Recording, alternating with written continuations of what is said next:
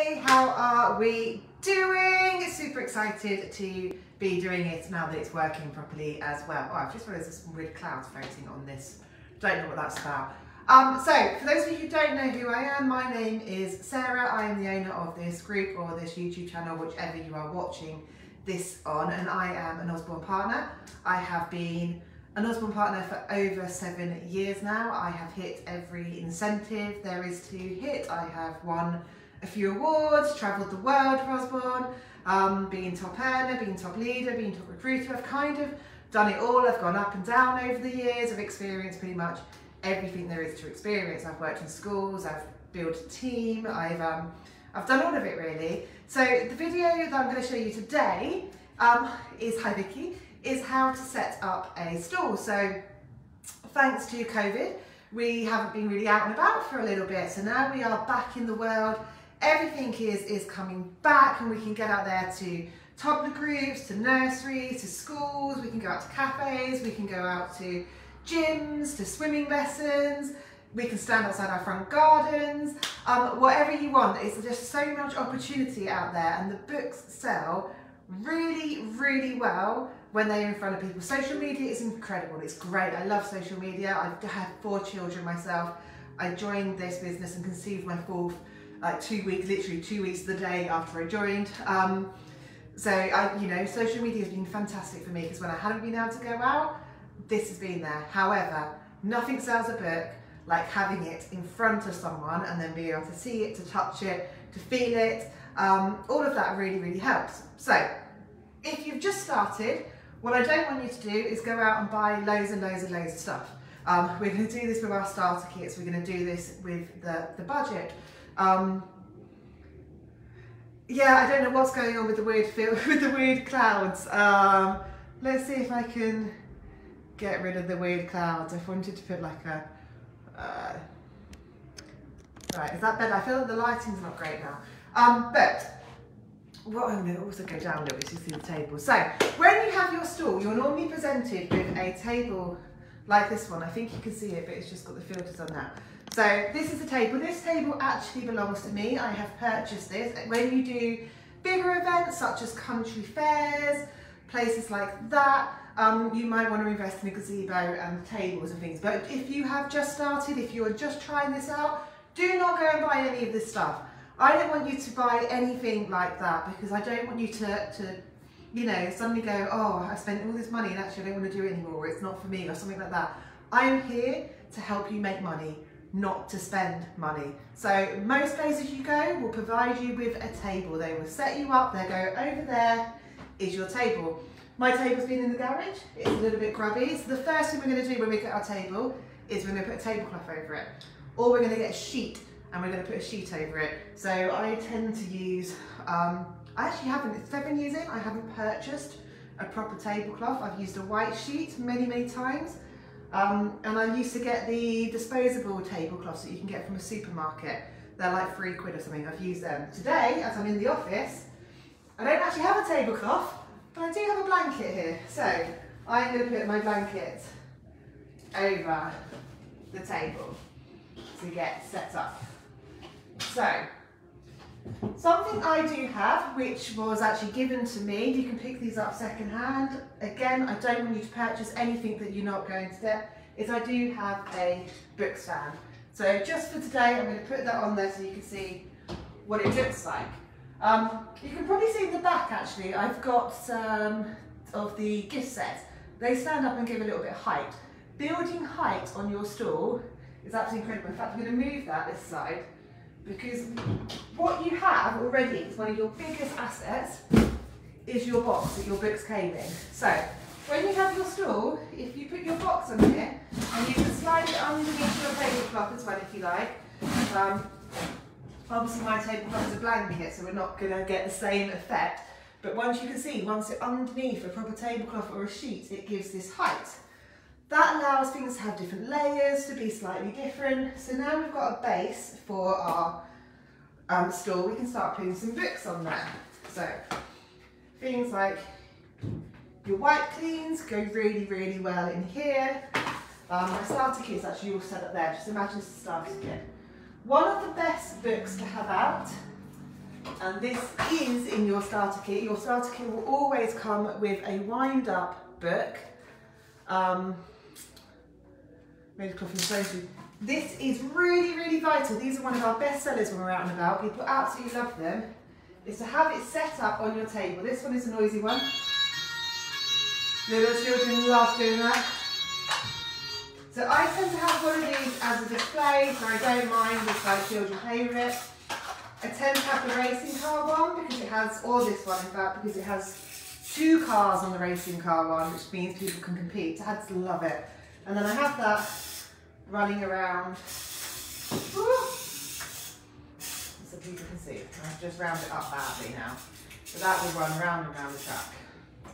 Don't what I've done. Then what I will have is, if I've got a couple more of them in stock, I will have them stood up towards the back of the stall. So again, you've just got a different line of things there. One of the other books that are always popular and everyone knows is uh, That's Not My Book. So again, I'll have some That's Not My right at the front where people can see them, so people can eye catch it. Again, things like this, stood up on each other at the back, building a bit more height so that people can see them. They really, really stand out to people. Um, top sellers for stores are things like your magic painting. These go down incredibly well. Sticker dollies do incredibly well. And jigsaws do incredibly well. So again, you can just stand up your things against your box, adding a few, few layers, a few things. And you, what I tend to do is I have some stuff on display and then I'll have more of them maybe against the side down here so people can see them. And then I might have boxes underneath. But again, this is once you've got a bit more stock. You can set this up just with your starter kit so it looks absolutely beautiful. So, one of the biggest things about your store though isn't just look, making it look beautiful, that's great. You can have bunting on there if you want. It's about knowing why you're going to the store. What is it you're looking for? Are you looking for team members? Are you looking for sales? Are you looking for future events? So some stores are all about just getting the books out there, selling them as quick as possible. Some are book fairs and it's all about taking orders. And some you know you've got people who are great team members going to be there or it's a lead to get a future booking. So things like a pop-up thing in a store or a nursery could lead to a ready steady listen or a ready steady read. I'm not going to explain those today, but they're how we get free books into nurseries or schools. So there's a couple of things we should have with us. First of all, is we should have our free prize draw slips. These are in tools and downloads.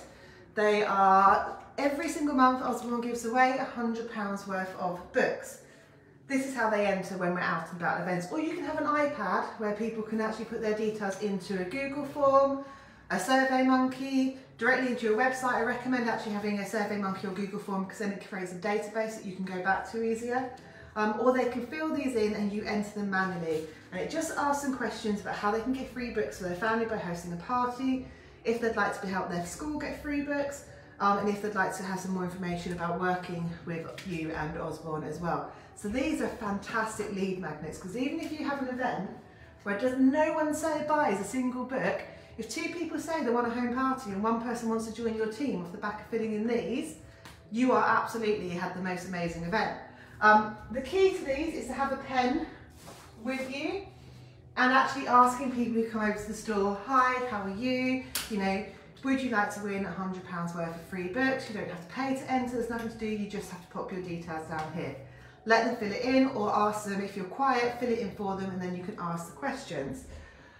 I would have on your store somewhere a poster, this is on tours and downloads, this is your Win 100 of books and you can literally just get some glue tack or some sellotape. Um, I'm going to put it over here, pretending that's a, a post near my stall for today.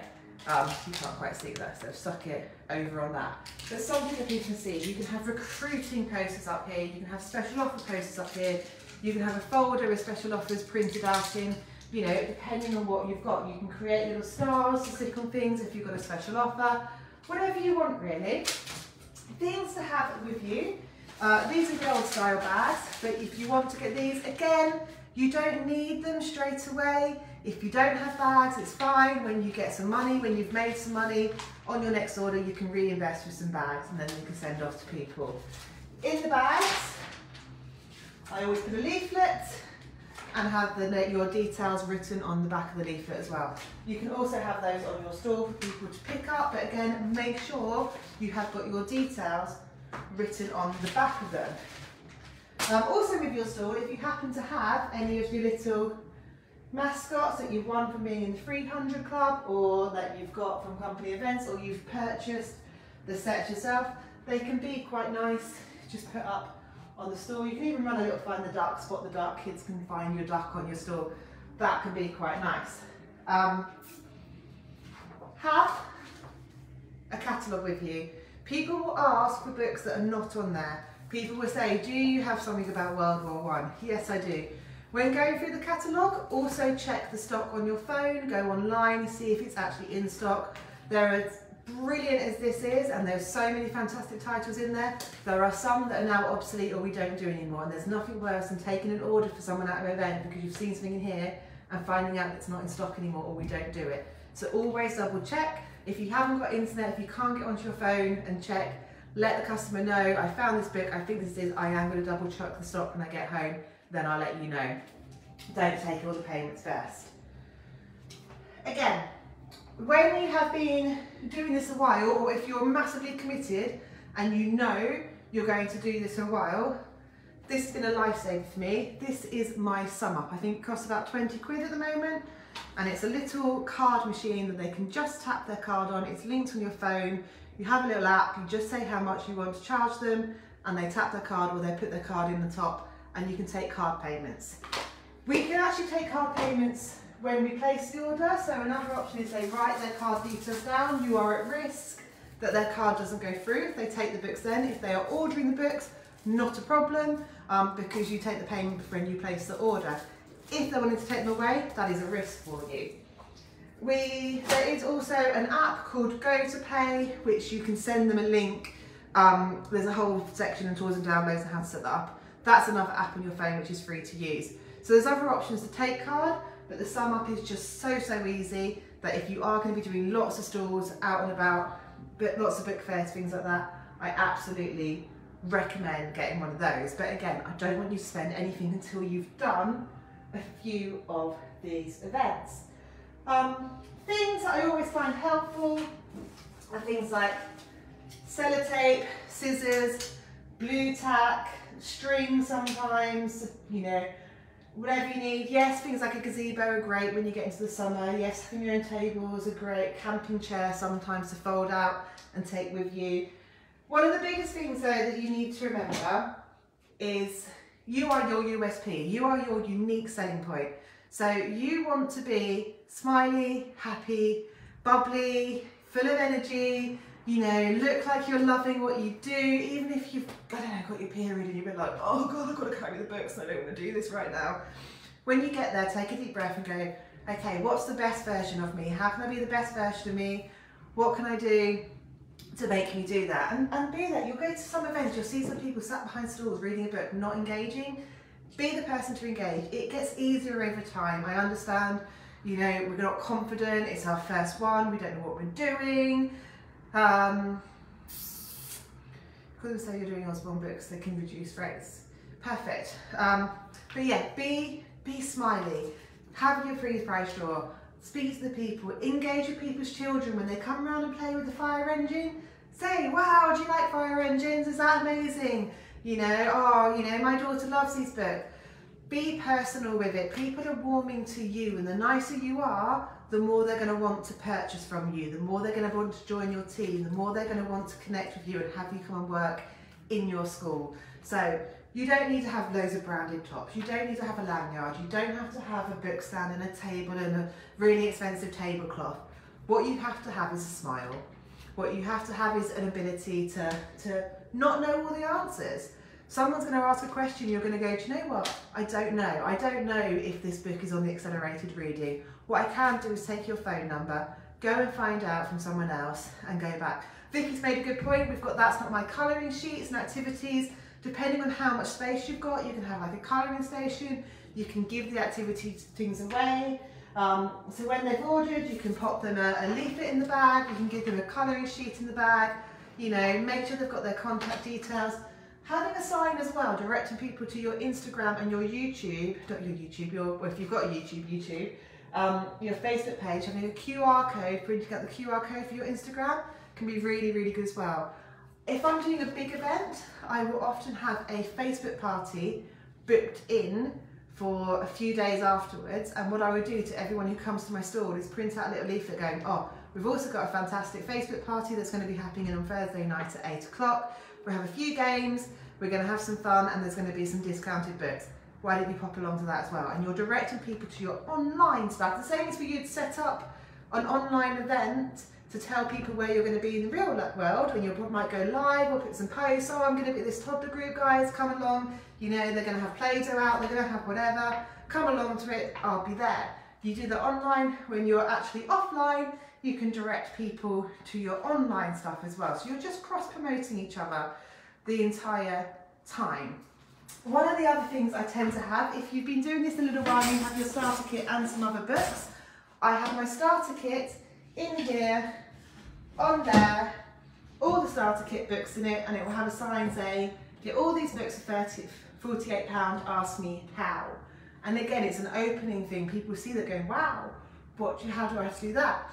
I have a pop-up banner, so I can stand out and it says, you know, work with Usborne. I can't remember the exact wording on my, my pop-up banner, but for me, I love team building. I love working with new people. So I'm putting visual cues all around to say, come and work with me. You could do this too. You know, you can also go out and sell these books and make this money. It's not hard to do. So that's where my focus is. Your focus has to be what's true for you. The biggest thing I can say to you is just be brave and do it.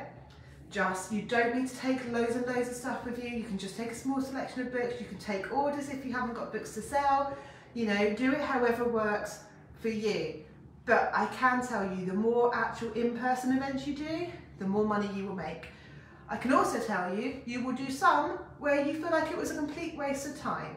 But all I can say is when you start, is do all of them. Do every opportunity that comes your way, and then they build and grow from it. Some of them you'll go, do you know what? I don't want to do that again. It wasn't worth my time. Some of them you'll be like, wow, that was incredible. Some of them you want to give a couple of goes. The first time I did a parents' evening, parents weren't expecting me to be there. And I took £75 worth of sales and I was like, wow, that was two evenings, that was a lot of work. I went back again, I took 400 because people expected me to be there. Every single time I've done it since, I've taken at least 400 pounds over those two evenings at that parents' evening. If I'd walked away the first time, um, then I wouldn't do. Uh, if people have delivered, if they're local, I will just drop them round to them. Um, I don't really take orders from people who are not local. I direct them to order from my website just because it's cheaper postage to order from the website and get them sent direct to them. Um, but if they're local, normally if I'm doing an event, it's fairly local and I can just get dropped in round when delivery comes. That's how that works. Uh, things in here, yeah, take the colouring sheets, crayons, all work well. Um, just seeing if there's anything else. So I think that is everything. Free price drawers absolutely worth their weight in gold. Have them with you every event you do. I cannot stress that enough because they are your leads right here. This is how you get more bookings, more people, more schools by having these with you. Um, but the only other thing, order forms, take your order forms with you. When someone purchases, I recommend having them pre-filled out with your details or a sticker with your details on. Again, further down the line, don't invest in stickers now, just write them out. or print out all over them and stick them on, whatever, then if you could just fill in what that was, give them a copy, keep a copy yourself. This is really good for your accounting then as well, So then you go, oh, what money have I had come in? Oh, look, I've got a stack of order forms that tell me what money I had come in, and then I can look what money I've spent from my bank.